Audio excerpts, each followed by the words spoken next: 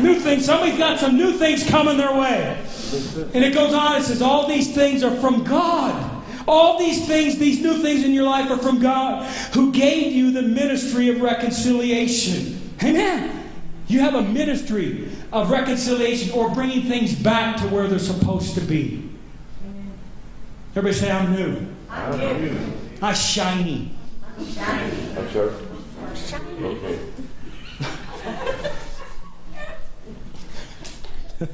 I'm new. I'm new. I'm shiny. I'm shiny. I'm mighty. I'm mighty. Come on, I'm new. Old stuff is gone. Your self is gone. Come on, everybody with me. Anger, Anger, meet peace. need peace. Complaining, Complaining, meet satisfied. need Oh, come on. Fearful, Yes. meet faithful. Sinner, come on, meet holy. Holy. Wishy washy, wishy-washy. Do it like me. Come on, wishy washy. Yeah, you're all on film. You look retarded. Wishy washy, meet stability. Come on, I'm stable. I'm holy. I'm faithful. I'm satisfied. I'm walking in my new identity because it's who He created me to be. Come on, come on. Let me close and say this. There's some things, this new identity, you've got to know. See, if I end my message right there, and that's where I had it ended until yesterday. If I ended it right there, that gives you the, the thought process, the teaching of who you're supposed to be. Let me tell you how to get there. Amen. Amen. Let me tell you three things in my own life that I have seen God do. First of all, if you're going to walk in this new identity and where new things are going to come to you, where you're going to have this new ministry of walking in the spirit of reconciliation, where you're going to do the thing that you cannot do normally, but only God can do. If you're going to get out and walk on the water, not because you're focused, you know, on, on Jesus or this or that, but because you're you're focused on Him, but you know who you are. See if how many of you just enjoy getting involved in everybody's messes? We do that. Listen, I'll tell you why you do that. Because you're searching for your identity. You're searching for your purpose. You're searching for your ministry.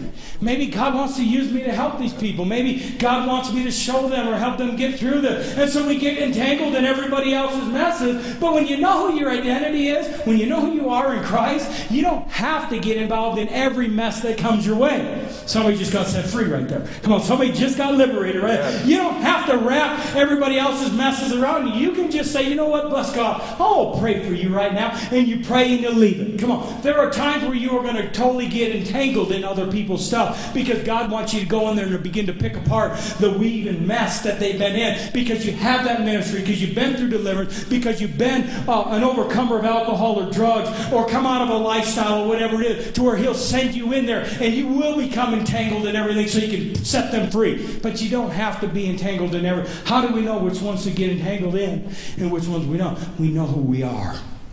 We know our identity in God. The first thing, one of three, is you have to have a foundation of God's Word in your life, first and foremost.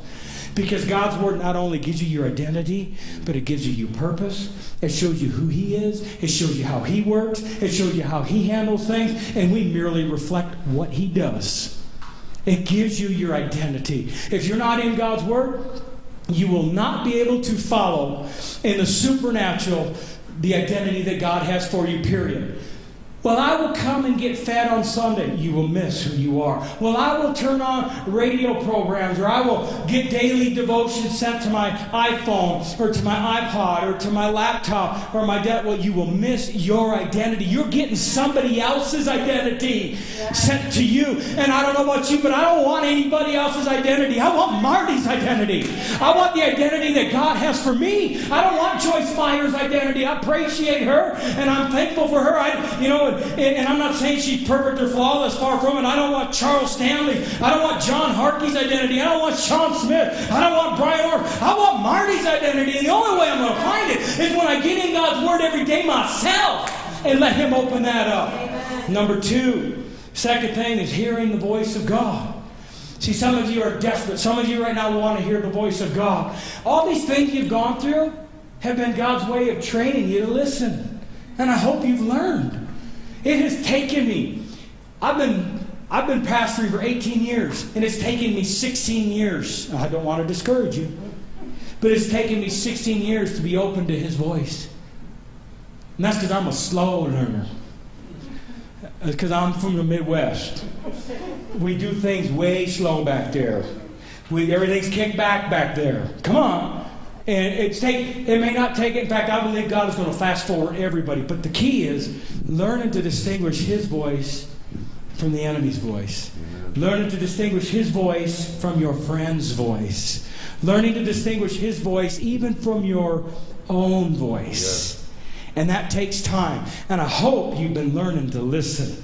You've been going through stuff. Joe, you've been going through stuff. Jason, Come on, you guys have been going through stuff. The reason isn't just to strengthen your faith and get you to hunker down and become godly men and godly women in the sight of, you know, sorrow, crisis, and tragedy, but it's so that you can learn to listen to the voice of God. So that when the next time you get in a situation that may be totally different, the one thing that'll be totally the same is His voice. Amen. In that way, you don't have to know God in every circumstance because you know God, and therefore every circumstance doesn't matter. His voice is the same. My sheep shall know my voice. Come on. He never changes. His voice is the same. I can be out hunting and I can hear God tell me to go over here. And I can go over there and I know it's God's voice. There were things I was doing and it was like, you know what? I'm just going to stop and I waited a minute and then I proceeded. And because of that, I was successful in what I wanted to do.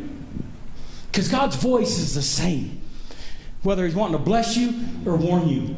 Whether he's wanting to direct you to go here or tell you to stop here, his voice is the same. The second thing we have to learn to do is recognize his voice. I believe that's where almost all of you are at right now today. You're being trained to hear his voice and be able to distinguish it from all that other clutter, all the other clanging, all the other banter, all the other uh, distractions, and every other voice that's out there. God is teaching you to listen to his voice. And thirdly, we have to learn to wait on His presence. Give Him a chance to finish what He started in your life. Give Him a chance to not just oh, open. See, we're sitting here, we're in the Word of God. He's given us our identity, He's given us our purpose. We're going out now. We know what we're called to do, and we're doing it. Here we go, and we're on fire. Come on. We get the first step. And we've learned to hear God's voice. So we're following God's voice. And God says, I want you to go over here. So we go over here and we get impatient.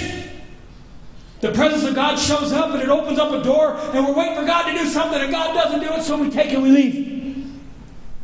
We figured maybe God's over here. Maybe I missed his voice. So we start going around and we frantically, before long, we start running everywhere trying to find out where he was because I know I heard his voice and maybe he's over here. We have to learn to wait. If you're going to walk in the anointing of God, the presence of God, the power of God, you have to learn to be still. And wait, because when God opens a door, sometimes we take off running before He completes what He wants to complete, before He reveals everything He wants to reveal. This church, our worship, we go longer than most churches. Amen. There's a reason. Because when we settle into that place of worship, that gives God not only a chance to show up, but for Him to come and complete the reason why He showed up. Not just to come, but to come and complete what it was He wanted to do. Too many people want God to come in their life, but they're not patient enough to wait for Him to finish it. It's okay as long as they come in their life and they're working on people around them. Lord, I want you to come in and fix my marriage and fix that wife of mine. And then God comes in and he starts working on her. Yeah, praise God, and I leave. But God saying, no, wait a minute, now I won't fix you. No, what you did there was good, God. You worked on her. Marriage is going to be perfect now because she's finally fixed. Amen, guys. Come on, amen, guys. You chickens.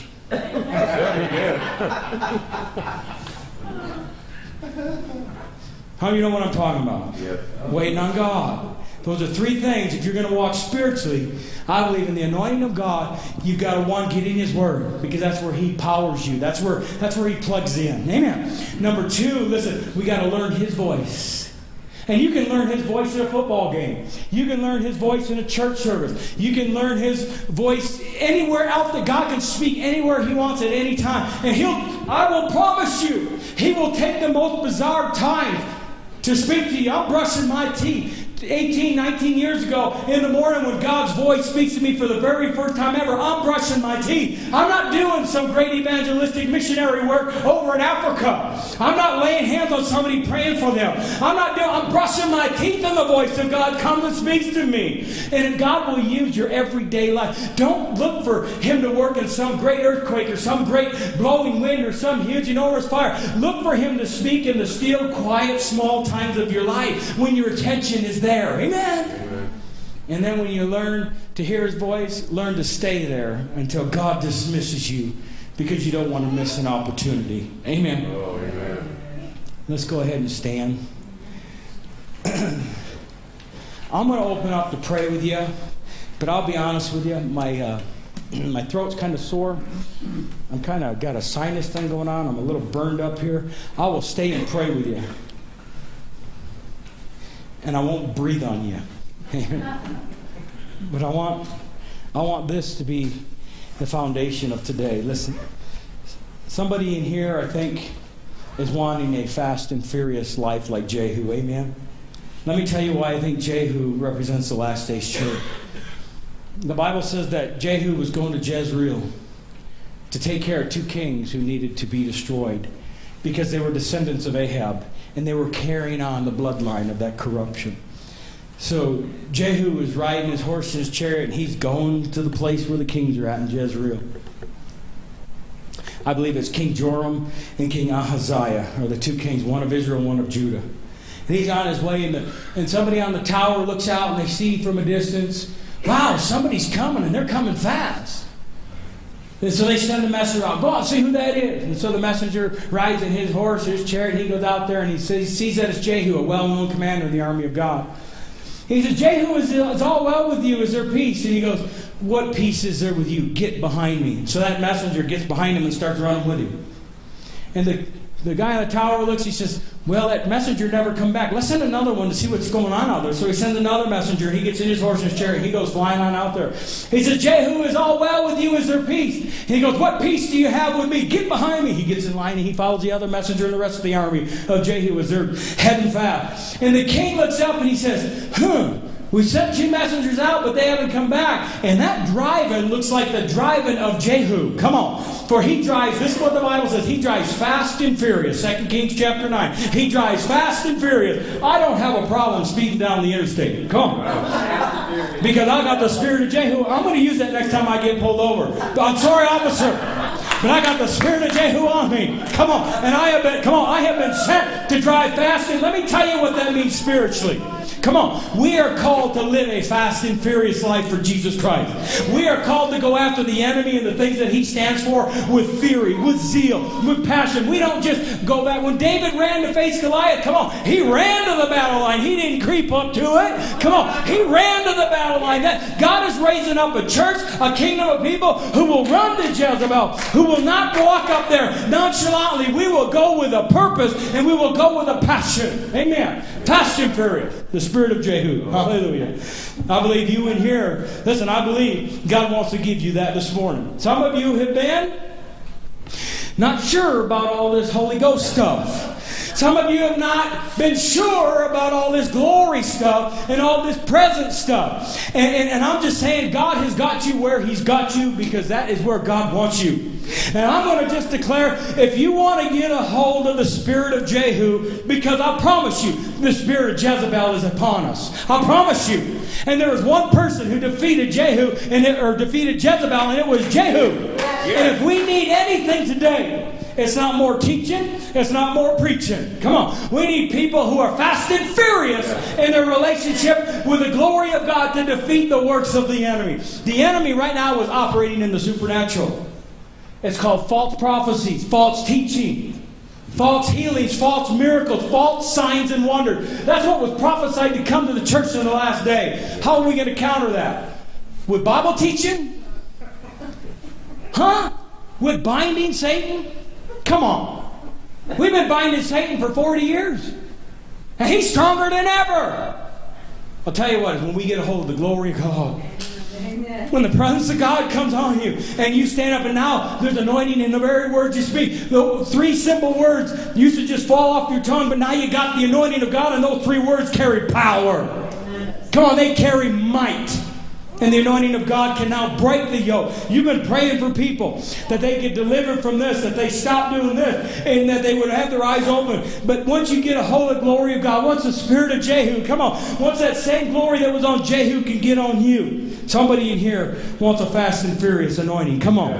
Come on. I believe somebody here wants a fresh prophetic ability so that when you're sharing the gospel with somebody else, how many in here want to share with an LDS friend? With an unsaved loved one, with an unsaved coworker, whatever it might be. How many of you would love for the spirit of prophecy to come upon you as you're talking and God open your eyes to see something in their life to where you can just say, "Oh my goodness, honey, let me tell you, the spirit of the Lord is saying right now," and it hit right on the head, and that person just stand back and go. Oh my, what? Oh, and then he opens the door to lay hands on and pray, and they receive Jesus and get saved. How many want that anointing? There is a prophetic anointing for the last days. There is a prophetic anointing because God says in Joel 2.28, He accomplished it in Acts chapter 2 where the beginning, not the end, but the beginning of it manifested. I will pour out my spirit on all flesh. Your sons and your daughters shall prophesy. Your old men shall dream dreams, and your young men shall have visions. Come on. Come on. Amen. Glory to God. Some of you here, I believe we'll get that fresh prophetic anointing upon you. I really believe that. I, you know, I believe that. I think we've been after the wrong things of God. Lord, bless me, heal me. Lord, Lord, do this, do that. Lord, give me your anointing. Come on. Lord, put your glory on my life. I believe that's the prayer that God wants to answer because that's the prayer that takes you into your destiny. And not just satisfies your needs right here. God wants your destiny secured. Come on. God wants your future all laid out and ready. When Solomon built the house for God, when Solomon built the temple, it was because his dad David had prepared the way and given him everything he needed finances, contacts, uh, and everything he would need for that future. God has given that to you right now. And I believe God wants to secure your future today. Lastly, I believe there are people here today that would like to just have me lay hands on them and them get all that. Wouldn't it be great if you could just come up here and if I could just go boop, boop, boop, boop. Woo. Huh? Wouldn't that be awesome? Connie, hold your arm up like that. Like a slot machine. Ching, ching. Woo! Prophecy. Glory to God. Come on, put your hand up. Woo, healing. Come on, teacher. Hallelujah. See, but that's not the kingdom of God. Mm-mm. What Elijah did was he called to the sons of the prophet and said, I want you to go. What I'm going to do this morning is simply say, I want you to go. Everyday common people like myself, God has called us to do supernatural things. Every one of us. Amen. Do you believe that? You see, because it doesn't do any good if you don't believe that. Don't come up if you don't believe that.